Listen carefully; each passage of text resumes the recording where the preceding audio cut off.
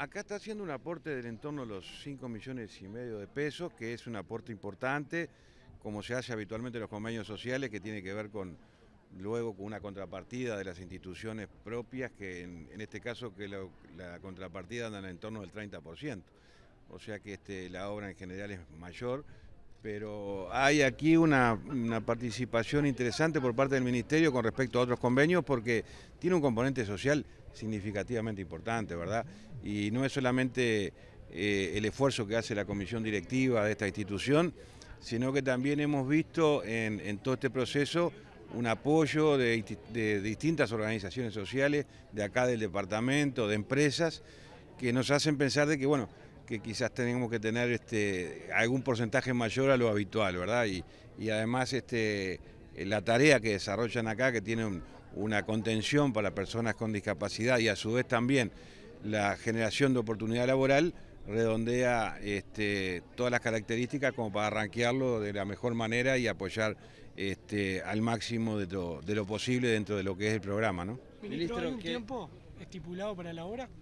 Bueno, eh, la, obra esta lo que tiene es característica que ya tiene un avance, ¿verdad? Este, eh, creo que es en base al esfuerzo de algunas empresas del departamento, de instituciones, y, eh, la ejecución de la misma no, lo tengo presente, quizás las arquitectas lo tengan más claro que yo.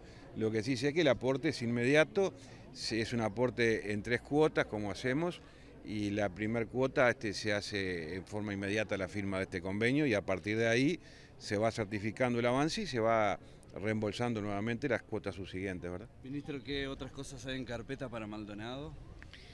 Bueno, Maldonado tiene eh, distintos tipos de intervenciones eh, por parte del Ministerio, ¿verdad? Eh, muchas que tienen que ver con, con, el rol mayor que tiene el Ministerio, que es la infraestructura vial.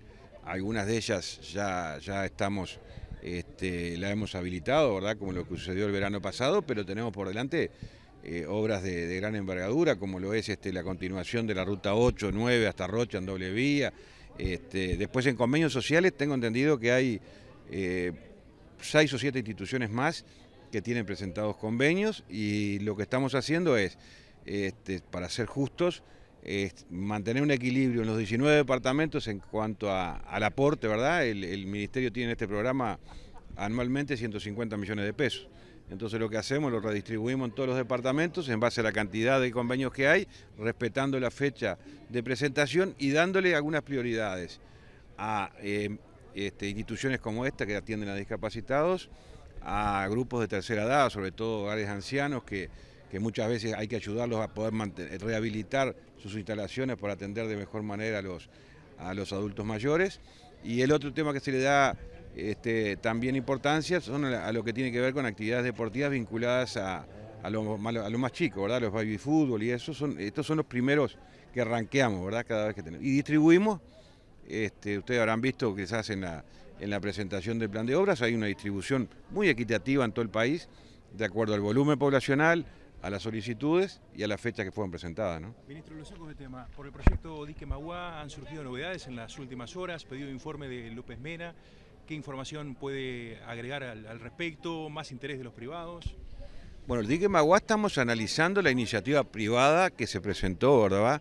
Y este, una vez que la terminemos de analizar en conjunto con la Intendencia de Montevideo, que estamos trabajando los técnicos de ambos organismos, este, recién ahí podemos eh, brindar la información, este, hacerla pública, porque eso va a llevar a que se comience a trabajar en un pliego licitatorio y en ese pliego licitatorio van a poder participar los que presentaron la iniciativa privada como otros, en el caso de, López Mena que usted mencionaba. Así que ese va a ser el tiempo donde se le va a poder brindar, porque hasta que no tengamos los detalles precisos de lo que se va a hacer, no corresponde que, estemos este, dando información cuando no está aún confirmada la obra que se va a hacer. ¿no? ¿De qué ¿Aparece el interés de otros privados, por ejemplo? Bueno, de acuerdo a la, no sé si eh, aparecerá, ¿verdad? Eh, esta solicitud de información este, quizás sea porque hay interés por parte del privado que usted mencionó de que pueda también interesarse en el pliego. La licitación es abierta. La única diferencia que tiene es que si hay una iniciativa privada presentada y aprobada, tiene un, beneficio este, de un 10% en lo que hace al momento de abrir, abrir las propias licitaciones. ¿verdad? ¿De qué tiempo estamos hablando, ministro, para la evaluación?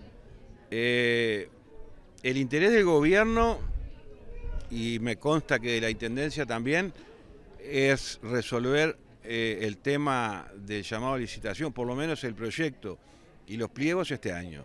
Eh, ese es el interés que tenemos, porque es una obra que, que para nosotros es importante, hay un desarrollo portuario en la actividad comercial muy grande y necesitamos planificar este, el año próximo o a más tardar el otro ya este, el poder quitar del puerto comercial la zona turística y de pasajeros y eso aprovecharlo en la actividad comercial.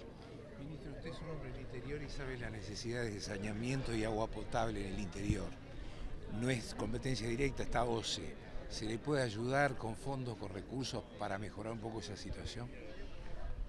Bueno, eh, el gobierno en sí ya hoy ha definido una partida eh, presupuestal específica para saneamiento, ¿verdad? Eh, se está en plena elaboración de, de, lo que significa la ejecución en más de 55 localidades en el interior del país para avanzar mm, por encima de lo, de presupuestal, ¿verdad?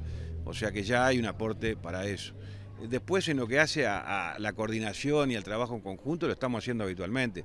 Y cuando hay una obra de saneamiento y la OCE no tiene o tiene limitados recursos para ayudar en el pavimento, lo estamos haciendo y lo vamos a seguir haciendo.